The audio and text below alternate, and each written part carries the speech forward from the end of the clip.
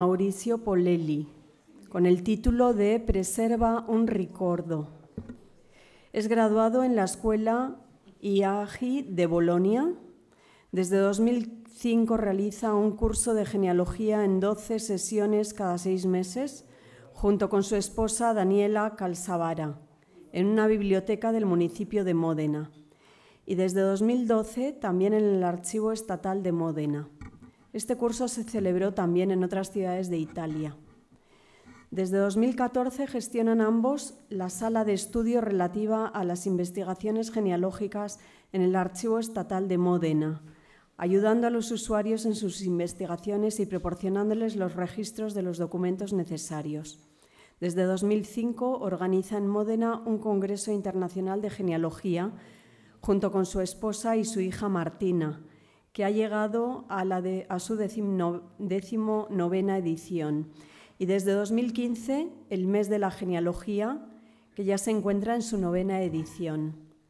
Eh, puede comenzar, Mauricio.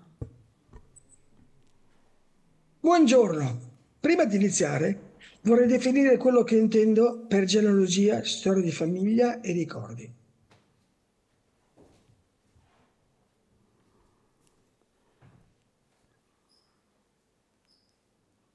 Genealogia, una raccolta di informazioni anagrafiche dei nostri antenati, come ad esempio data, luogo di nascita, di matrimonio e morte.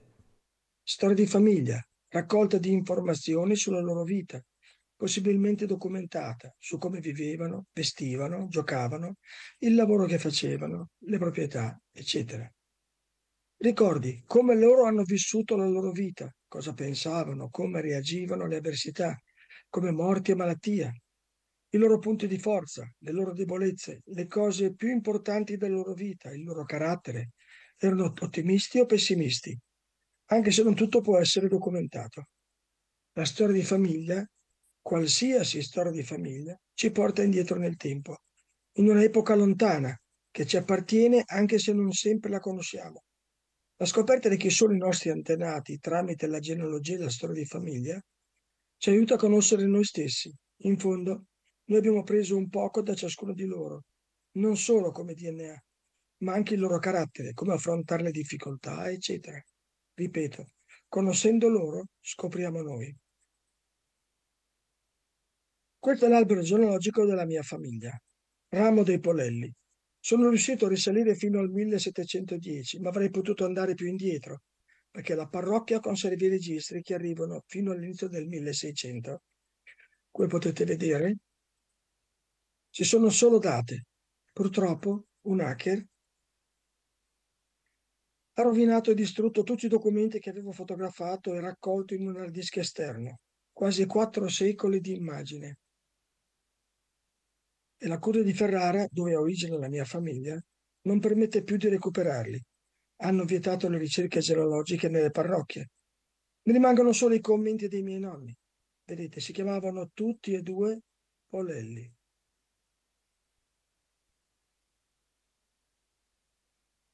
Mm. ma scrivono di non essere imparentati in alcun modo. La ricerca e le date che mi sono rimaste dicono che invece avevano intonati, intonati intorno al 1600.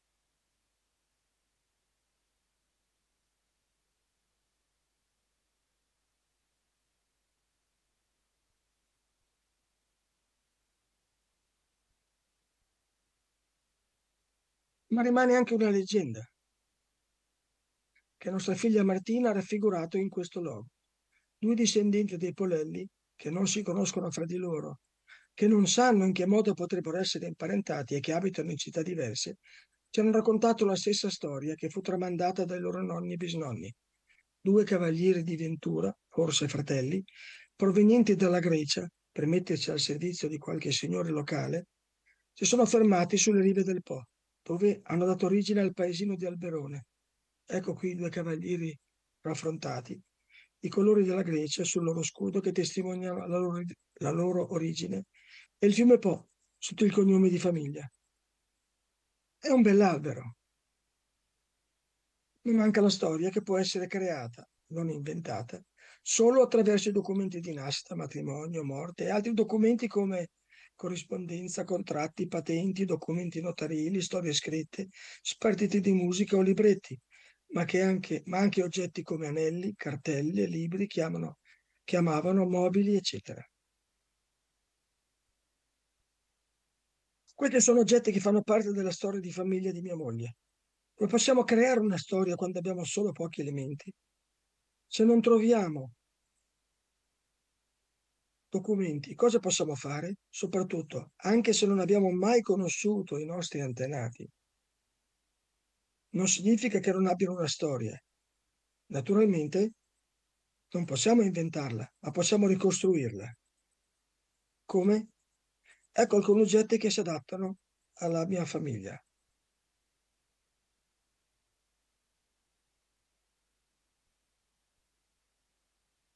I miei antenati erano contadini. Come si vestivano?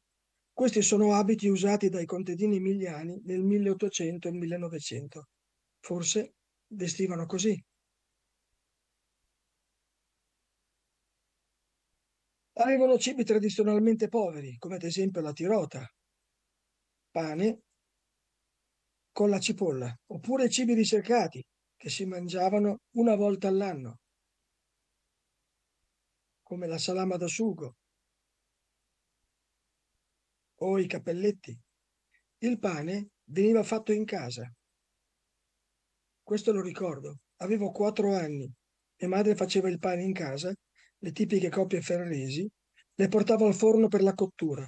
Quando tornava, la casa si riempiva di un profumo fantastico. Altri esempi di informazioni che abbiamo trovato in rete. Il circo di Buffalo Bill arrivò a Modena, dove noi viviamo, nel 1906, anno in cui è nato mio suocero. In biblioteca e nella biblioteca di Modena abbiamo trovato le locandine che tappezzavano le strade per pubblicizzare l'evento. il personale che faceva parte del circo, 1300 uomini e cavalli, i sistemi di trasporto, quattro treni con 50 vagoni come questo. Una, cosa, una, cosa, una foto furiosa, curiosa, con Buffalo Bill e Toro seduto in una gondola a Venezia nel 1906. Tra le personali, personalità vi erano anche Calamity Jane. Il circo inoltre si fermò in Toscana, dove è nata mia moglie, per una delle sue tappe. I cowboy americani hanno sfidato i butteri toscani a domare i cavalli selvaggi che erano liberi in Maremma e sono stati i toscani a vincere. Ecco tre elementi che si possono mettere insieme per creare una parte della storia di famiglia, una piccola storia basata sui documenti. Vediamo. Altre idee su come trarre la storia fam- familiare dei documenti di Stato civile. Abbiamo preso tre atti a caso per mostrare come si può ricavare una storia dal no- del nostro antenato. Questo atto del periodo preunitario. Sono informazioni di carattere genealogico che ci aiutano per la ricerca. Annunziata Domenica Maria è nata nel 1852, periodo della restaurazione. Il registro è composto da 125 fogli e questo è l'atto numero uno. Nell'atto è anche raccontata una parte di storia. Il padre si chiamava Luigi Domenico Casarini. Aveva un soprannome, Frignani, per distinguere la sua famiglia dalle altre famiglie Casarini che si trovavano in loco. Faceva il contadino, condizione questa che lasciava poco tempo per la scuola e infatti non può firmare l'atto di nascita perché si dichiara il letterato, un'espressione elegante in uso per, per anni nella nostra regione che vuol dire analfabeta. Anche la moglie Oliva fu Pietro Vannini, lavorava la terra a fianco del marito. Il nonno Pietro era già morto e non ha potuto conoscere la nipotina che si chiamava Annunziata Domenica Maria. Una cosa carina che si potrebbe fare, sempre andando su internet, è conoscere l'origine del suo nome. Si chiamava Annunziata perché è nata nel giorno dell'Annunziazione? Si chiamava Domenica perché è nata di domenica? In casa era chiamata Annunziata e con questo nome si sposa il 26 dicembre 1874, come scritto nella nota margine. Suo marito, Loschi Anselmo, orfano di padre, Era nato a Quartirolo il 18 marzo 1851. Aveva 23 anni quando si è sposato. Due parole su Quartirolo dove è nato il marito. È una frazione di Carpi, la chiesa di Scra, circa 4 km dal centro, città e dal municipio. Questo è un atto di matrimonio. Ecco la storia che se ne può ricavare. Vincenzo Giuseppe fu Antonio, un padre di 61 anni, che insieme ai due figli Luigi di 33 anni e Domenico di 27, tutti e tre agricoltori, si presentano in comune e fanno da testimoni al matrimonio della figlia e sorella Antonia Felicita di 19 anni, che faceva la filatrice. Altro testimone invece è il dottor Giuseppe Bignani. Lo sposo si chiama Mantovani Gregorio, ha 20 anni e fa il pescatore come suo padre, Antonio, deceduto. La mamma di Gregorio non è massaia, ma per usare un'altra espressione elegante del modenese si occupa di affari domestici. Troviamo anche un'altra parola latino italianizzata, che si presenta in molti atti di stato civile dell'epoca, giugali, cioè domestici, e cioè coniugali. Essendo i due sposi minorenni, la madre di Gregorio, il padre era defunto, e i genitori di Antonia Felicita hanno dato il loro consenso al matrimonio. Fino al 1930 si era minorenni fino al compimento dei 25 anni. Le pubblicazioni furono fatte nei due comuni degli sposi, San Biagio e Mortizzuolo, e affissi sul luogo dove si affliggono gli ordini del giorno. In questo atto poi sono segnate varie località vicine fra loro, organizzate secondo il modello francese, con la legge dell'8 giugno 1805, che divideva l'Italia in dipartimenti, distretti, cantoni e comuni. Dipartimento del Panaro. I nomi dei dipartimenti derivavano dal corso dei fiumi. Abbiamo il Dipartimento del Panaro a Modena, del Crostolo a Reggio Emilia, del Mincio a Mantova, del Reno a Bologna, a Bologna e così via. Per uscire dal dipartimento era necessario un passaporto, anche se tutti i dipartimenti erano parte del Regno d'Italia. Il distretto di Mirandola grossomodo corrispondeva all'antico ducato di Mirandola. Mirandola è il territorio del famoso Pico della Mirandola. Oltre a questo si racconta che Manfredo, figlio di Federico Barbarossa, trovandosi in disaccordo col padre, lasciò il suo regno per stabilirsi in questa regione. Anni dopo il Barbarosso andò a trovare il figlio Manfredo, probabilmente per far pace. Vedendo il luogo piacevole, il figlio Manfredo con moglie e un certo numero di figli, l'imperatore esclamò, Vista Miranda, che tradotto vuol dire che mirabile visione. Da qui il nome di Mirandola. Cantone di Finale, come la provincia attuale. Comune di San Biagio. In questa cartina del XIX secolo vediamo che i comuni di Mortizzuolo e di San Biagio erano confinanti, anche se di cantoni diversi. Antonio e il figlio di Gregorio erano pescatori. Dove andavano a pescare? Gli unici corsi d'acqua in zona erano i canali di irrigazione.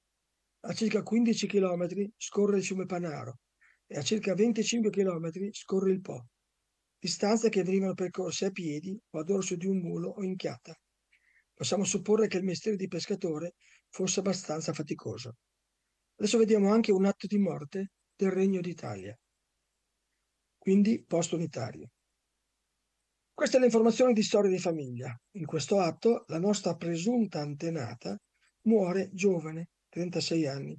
Negli allegati agli atti di morte si potrebbe trovare la causa di questa morte precoce, che potrebbe essere una qualche influenza invernale o parto. Ma per continuare con l'eleganza del linguaggio modenese, Barbara Tonini non muore, si rende defunta.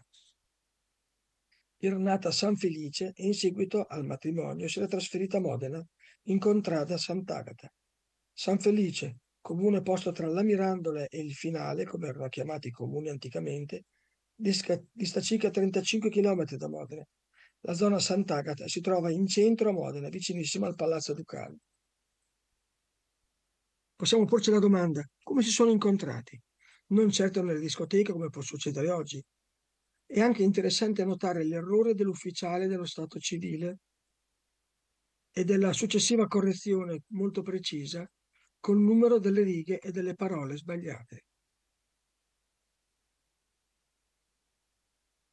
Ma cosa dire dei nostri antenati che sembrano non avere una storia? La nonna paterna di mia moglie è nata nel 1863. Era una trovatella. La sua storia è finita con la sua nascita? No, c'è sempre qualcosa che si può dire anche su di lei. È nata a Venezia, questa è la chiesa di Santa Maria della Visitazione. L'ospedale della Pietà fungeva da istituto, da istituto per gli orfanelli ed era sulla riva degli Schiavoni, sul bacino di San Marco. Ai primi del 1800 fu istituita la scafetta o ruota degli innocenti. Era una specie di bussola girevole divisa in due sezioni, una esterna e un'interna. La parte esterna aveva uno sportello, dentro c'era una culla in cui veniva posto il neonato abbandonato. Accanto alla bussola c'era una campanella che veniva suonata per avvertire le suore che c'era un bambino in arrivo e protegge così l'anonimato dei genitori.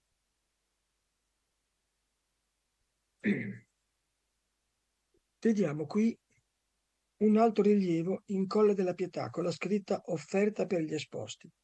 Qui chiunque poteva portare anonimamente le sue offerte. Fino ai tempi antichi l'abbandono dei bambini era considerato una piaga. Sulla parete della chiesa troviamo questa lapide del 1500.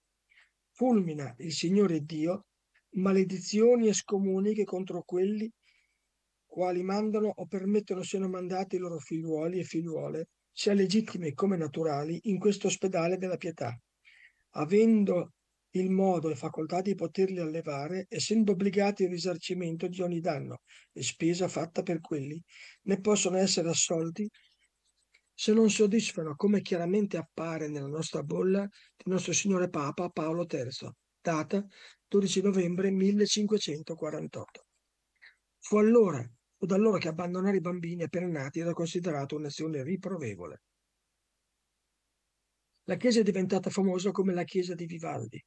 In questo luogo sorgeva la cappella musicale del Conservatorio della Pietà, dove il genio di Antonio Vivaldi, allora non pienamente compreso, operò quale maestro dei concerti dal 1703 al 1740, donando a Venezia e al mondo l'incomparabile ricchezza della sua musica di cui le quattro stagioni sono il fiore del suggello. Il suo tempo è venuto. Tutte queste informazioni naturalmente non le abbiamo avute dalla nonna di mia, di mia moglie, che non, ho mai, che non ho mai conosciuto. Le abbiamo trovate tramite ricerche nei documenti, cercando di creare una storia documentata dove sembrava che storia non ci sarebbe mai stata. Per arricchire la nostra storia familiare, oltre a fotografie che tutti abbiamo, possiamo aggiungere anche i disegni, disegni dei nostri cari. Mappa che illustra dove abitavano, per esempio, i miei antenati. Alberone di Rò, di cui abbiamo parlato all'inizio, non è un luogo famoso. C'erano una ventina di case di un piano in zona sabbiosa, in quanto ai piedi dell'argine del fiume Po. Non era presente un luogo di ritrovo e neanche la chiesa, che fu edificata intorno al 1960 ma possiamo trovare alcune informazioni. La località più vicina dove tutti si recavano era Guarda Ferrarese. Era presente persino un bar, oltre alla chiesa e al cimitero. Una metropoli con una cinquantina di case, sempre in zona sabbiosa ai piedi dell'Argine. Possiamo vedere in basso la mappa di Google, in alto una mappa del XIX secolo. Nel corso degli anni i comuni della bassa non sono cambiati molto. Quindi nella nostra storia familiare possiamo aggiungere brevi notizie della città dove abbiamo o hanno vissuto i nostri antenati. Ecco la foto.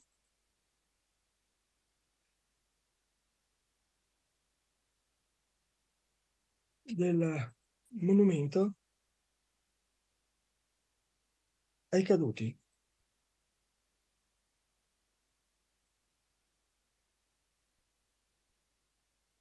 Capoluogo comunale di Roferreso, capoluogo comunale, dove è segnato anche il nome di mio zio, deceduto nella prima guerra mondiale, sepolto in uno dei gradoni di Re di Puglia.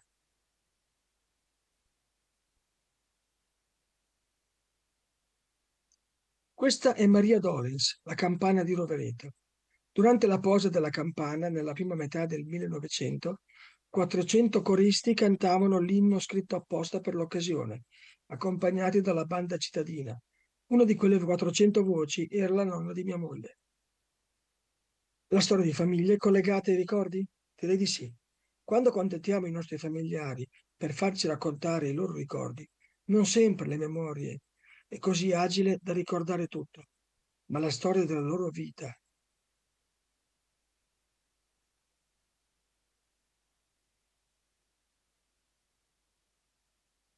o la storia che abbiamo ricostruito permetterà ai ricordi di ritornare in mente mano a mano che raccontano, che raccontano. In questo modo altri ricordi deforiranno. Ricordiamo di registrare le loro voci. Sarà un bellissimo ricordo e se possibile possiamo conservare la loro grafia e poi trascriverle o sbobinarle. La storia che raccontano potrà diventare il loro diario. Dove partire? Possiamo partire dai nostri ricordi, Evidentemente non possiamo ricordare le cose in ordine cronologico. La nostra memoria vaga libera. Possiamo dividere la nostra vita in, peri- in periodi. Qui vediamo alcuni periodi. Prendiamo dei fogli sciolti e scriviamo i nostri ricordi come ci vengono in mente. Poi li inseriamo in ordine cronologico, in un contenitore ad anelli.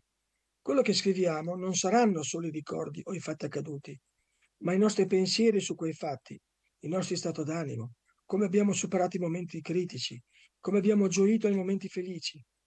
Ricordiamo che i ricordi che io ho di mio padre possono essere diversi dai ricordi che ha mio fratello di mio padre. Mettendo insieme i due ricordi, otterrò probabilmente una descrizione più corretta. La nostra vita è una continua metamorfosi.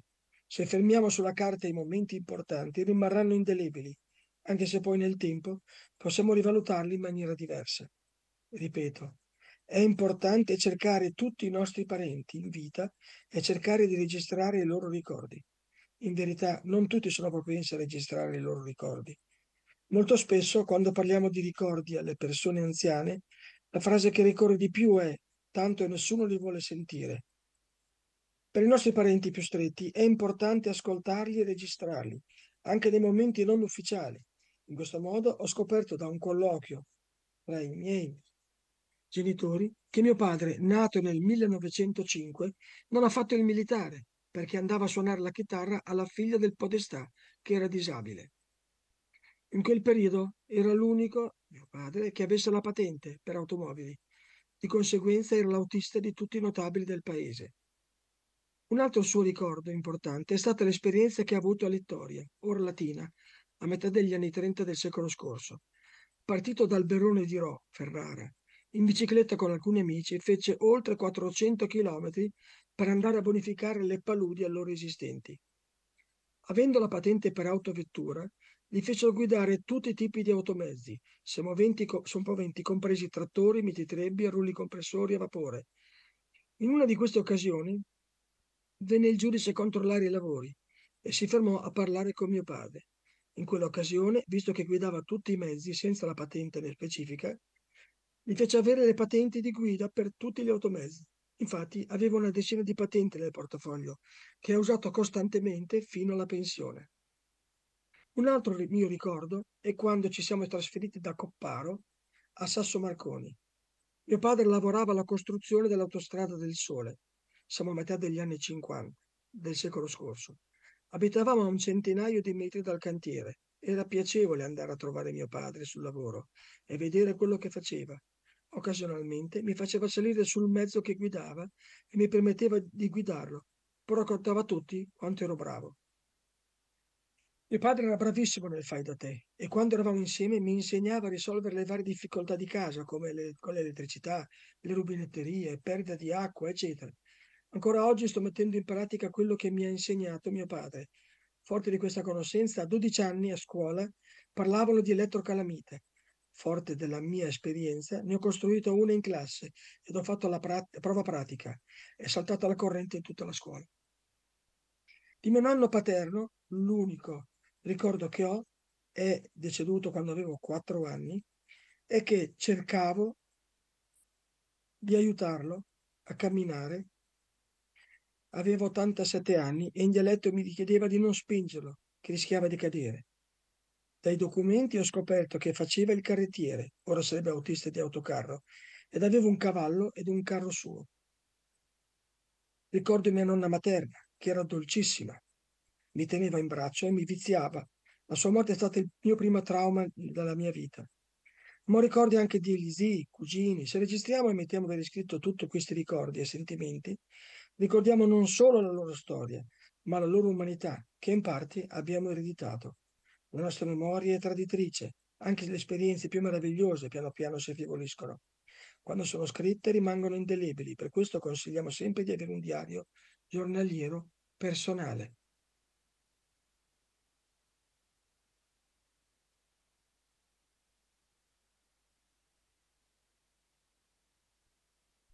In fondo, se non ricordiamo noi i nostri antenati, chi potrà farlo? Se non lo facciamo noi, rischiano di essere dimenticati e la loro storia sarà perduta insieme ai ricordi. Stavo pensando che bellissima esperienza sarebbe trovare un diario di un mio antenato, conoscere, oltre alla sua storia, anche i suoi pensieri, le sue esperienze. Leggere il nostro diario potrebbe essere una bellissima esperienza per i nostri pronipoti. Ora è il momento di iniziare scrivere il nostro diario, se già non lo facciamo, e mettere ordine nei nostri ricordi. Oscar Wilde disse, non viaggio mai senza il mio diario. Si dovrebbe avere sempre qualcosa di sensazionale, divertente e interessante da leggere in treno. I ricordi poi sono le cose che ci accompagnano. Per sempre nei momenti di difficoltà. I bei ricordi ci possono letare la vita. Infatti, i ricordi sono le rose di giugno nel dicembre della vita. Grazie per l'attenzione.